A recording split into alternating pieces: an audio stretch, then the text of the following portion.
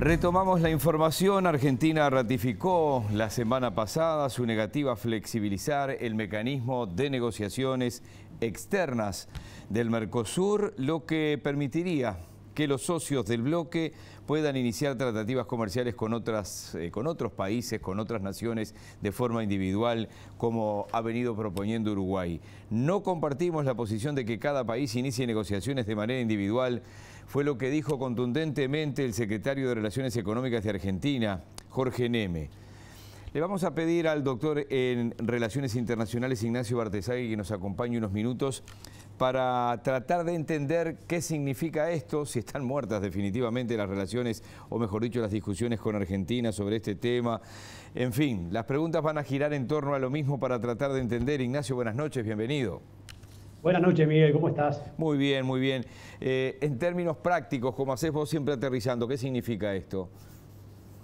Bueno, es una complicación a una negociación que ya se sabía venía con faltas de apoyo del lado argentino, que Paraguay tenía una visión, diría, más intermedia, pero también contraria a la posición de Brasil y Uruguay sobre la flexibilización.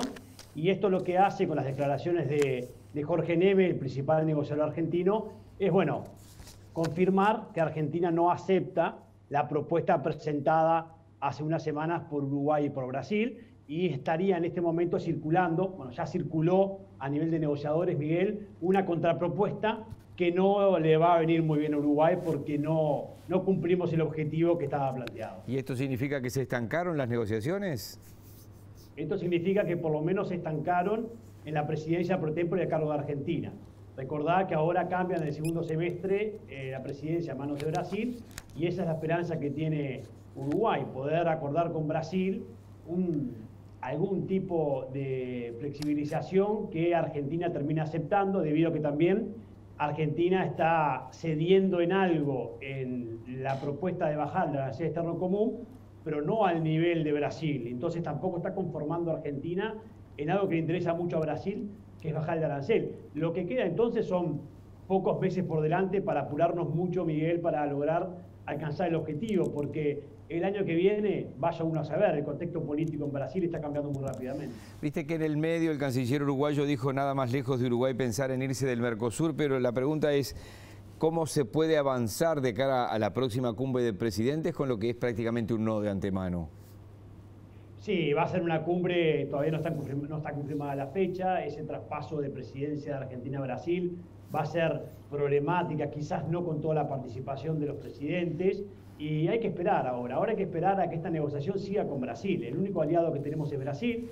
Es cierto que en Brasil el apoyo está más del lado de Guedes, del Ministerio de Economía, no tanto de Itamaraty. Paraguay no termina de sentirse cómodo con la propuesta de Brasil y de Uruguay.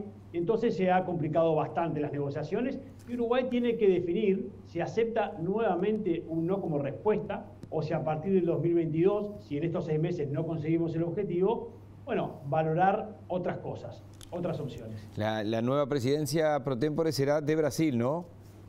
Exacto, a partir de julio inicia Brasil y ahí nos quedan seis meses antes de fin de año para, bueno, antes de que vuelva a cambiar la presidencia a manos de Paraguay, intentar conseguir por lo menos algún tipo de excepción puntual que le permita a Uruguay negociar algún acuerdo comercial de importancia con algún país en donde los miembros no, no han mostrado consenso. ¿no? Bien, no necesariamente con la economía, pero para despedirte, es más un comentario en voz alta que una pregunta. Eh, qué complicado el panorama. Bueno, finalmente parecen definirse las elecciones en Perú, la votación en la OEA con esta abstención de México y Argentina negándose a votar una declaración por la violación de derechos humanos en Nicaragua. No es fácil el panorama, ¿no?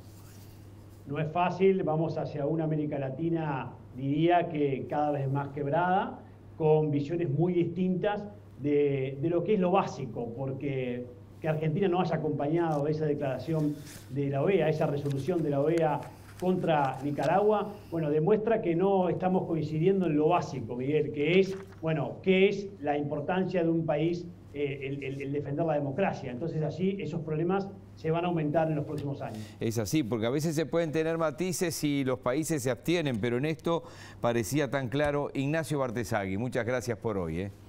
Con todo gusto.